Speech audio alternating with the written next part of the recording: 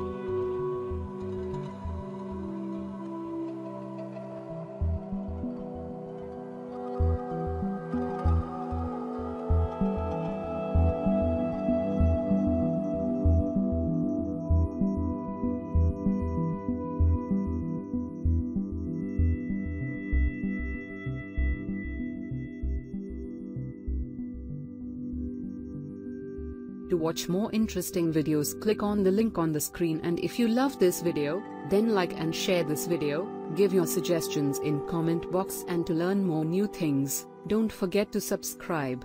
Thanks for watching.